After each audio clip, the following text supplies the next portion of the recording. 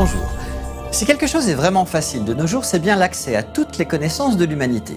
Grâce aux efforts des géants du réseau qui ont connecté le monde entier, toute personne peut maintenant accéder instantanément à un livre numérisé, un film, un musée via visite virtuelle, ou même toute réponse qu'elle cherche, si ce n'est le sens de la vie. Les progrès des algorithmes ont beaucoup aidé les pays en développement.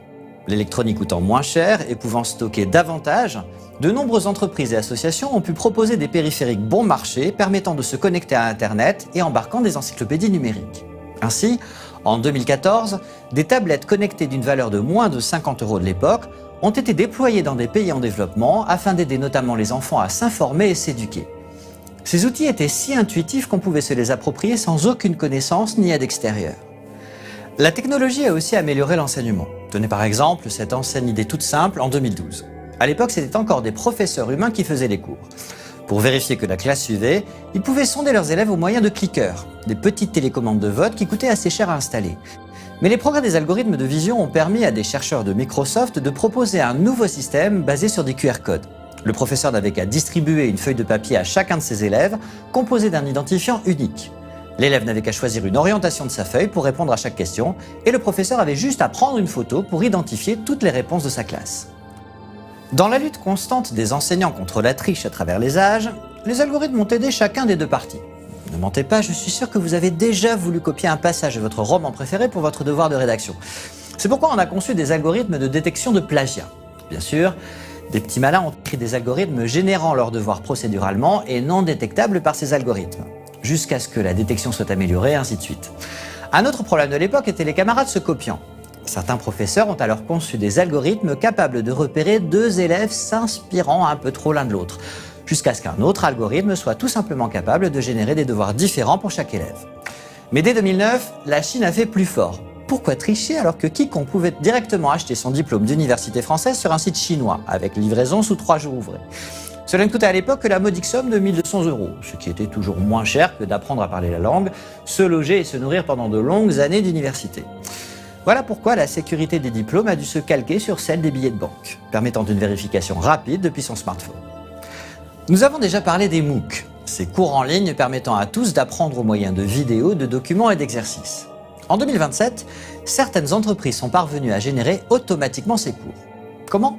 Eh bien c'est très simple. Il leur a suffi de payer des étudiants pour enregistrer les cours de véritables enseignants avec leur smartphone et de donner ça et là des algorithmes de transcription automatique pour créer les documents. En 2029, le gouvernement a donc interdit les smartphones et autres dispositifs d'enregistrement au sein des écoles publiques. Cela a d'ailleurs amélioré l'attention des élèves en cours. Bref, tout cela est très différent aujourd'hui car, comme vous le savez, puisque toutes les données d'apprentissage sont analysées en temps réel en cours, plus besoin de tests. Les examens ont laissé place à un contrôle permanent qui permet au système de repérer rapidement les étudiants en difficulté et de les conseiller automatiquement sur les points qu'ils comprennent mal. À la manière d'un professeur particulier, l'algorithme va proposer des ressources et des exercices complémentaires pour aider les élèves tout au long de l'année et éviter qu'ils ne se retrouvent à la traîne. Plusieurs humains sont là pour passer plus de temps avec les élèves ayant le plus de difficultés et vérifier que les algorithmes font bien leur travail. En outre, les algorithmes d'éducation sont disponibles 24 heures sur 24 pour répondre aux questions lorsque les tuteurs ne le peuvent pas. Évidemment, il a été difficile d'en arriver là. En 2014, les Google Apps for Education ont reçu de nombreuses critiques, car leur système crée automatiquement un compte Gmail aux étudiants, déclenchant par là un scan automatique de leur mail pour leur proposer des publicités ciblées.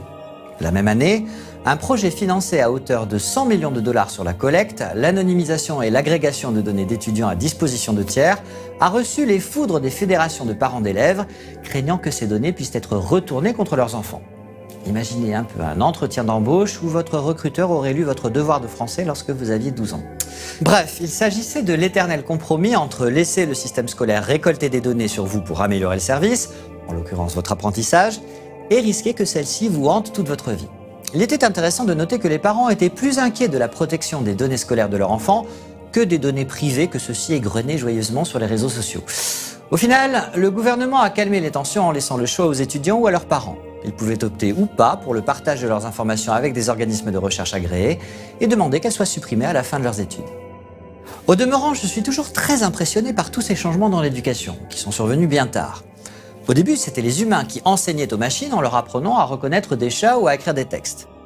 Puis, au fil des progrès, les machines ont commencé à assimiler les connaissances par elles-mêmes, et maintenant ce sont elles qui nous aident à faire nos devoirs.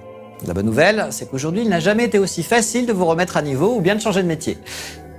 Notamment si le vôtre est remplacé par des algorithmes. Voilà, l'algorithme qui a généré cet épisode touche à sa fin. Pour la prochaine fois, il vous prépare des données à propos de la discrimination par les algorithmes. Fin de fichier.